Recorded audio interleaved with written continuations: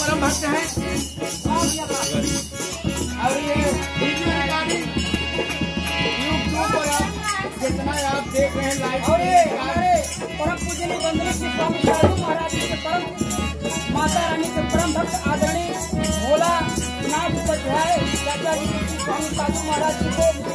और